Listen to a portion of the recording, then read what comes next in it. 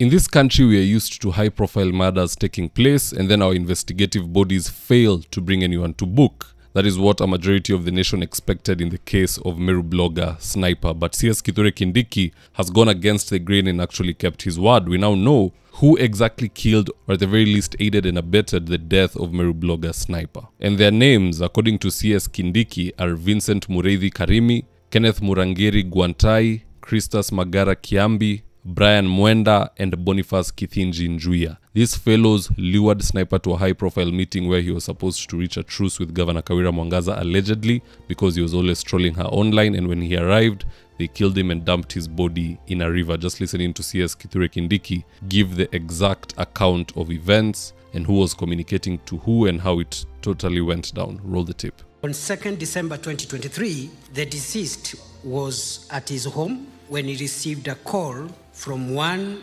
Vincent Mureithi alias Supu, who requested to meet with him at Meru Town to attend an alleged meeting with the governor of Meru County to discuss their differences so that the deceased could stop attacking her on social media. Upon arrival at Meru Town, he was abducted and driven to Mutonga River in an area called Chiakariga in Tharaka Nithi County. He was killed and his body thrown into River Mutonga at a place called Mutonga Bridge, where that body remained for several days undiscovered. Honorable Speaker, sir, his disappearance was reported at Maua Police Station by the family members and investigations com- commenced immediately. A police file number CR 434 295 2023 was opened. The deceased body was discovered on 6th of December 2023 by a resident of Karikivi area at a place they normally fetch water. The place is called Majarani, and she reported the same to the police station. Police officers from Chiakariga Police Station and DCI from Tharaka South visited the scene, and the unknown deceased body, which had some visible injuries, was retrieved from the river Mutonga on 7th December 2023.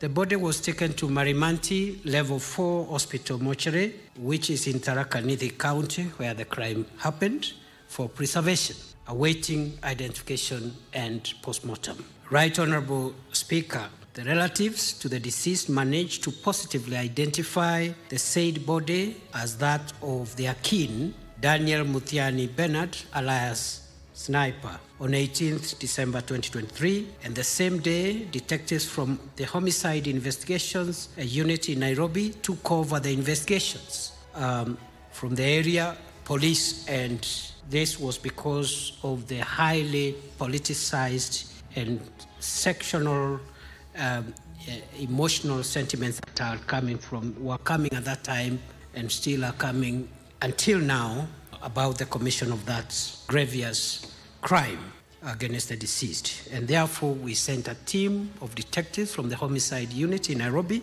to take it over from the local police authorities in Meru. Mr. Speaker, sir, a post-mortem was conducted by the chief government pathologist, Dr. Johansen Oduor, on 22nd December 2023. And in his opinion, the cause of death was asphyxia due to ligature strangulation. Mr. Speaker, sir, investigations have placed five accused persons at the scene of the abduction. Vincent Mureithi Kiremi, Kenneth Murangiri Guantai, Christus Manyara Kiambi, Brian Mwenda, and Boniface Kithinji Njuya. These five were together with the deceased from Meru town all the way to Mutonga River where the body, uh, where the body was dumped.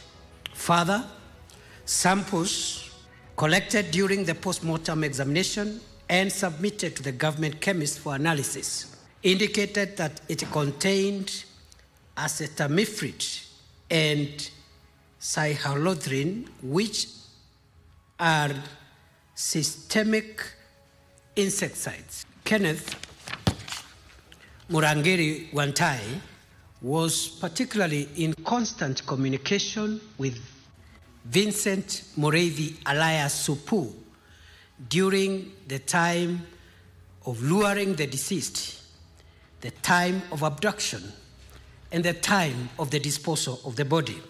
He thereafter met Vincent and the other accused persons at Makutano uh, suburb of Meru County after the execution of the crime.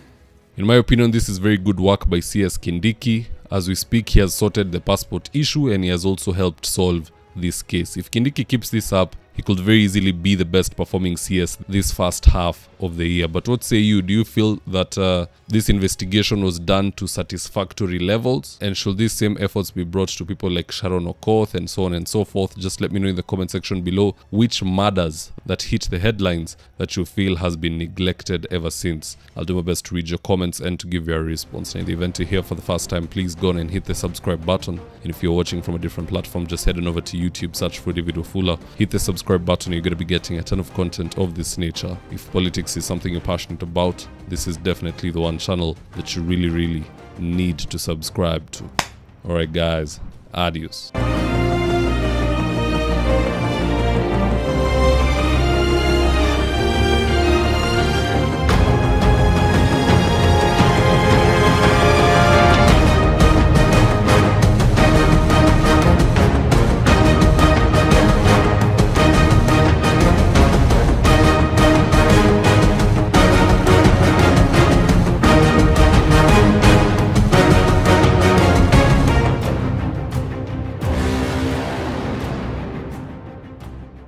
Thank you for choosing David Wafula as your primary news platform. We put countless hours in research, recording, and editing. By showing up each and every day to watch our videos, you encourage us to generate more videos for the viewers. We are on a mission to inform, educate, and build a better tomorrow. To our thousands of followers in a world full of presidents, kings, and queens, you are the real gem. Adios.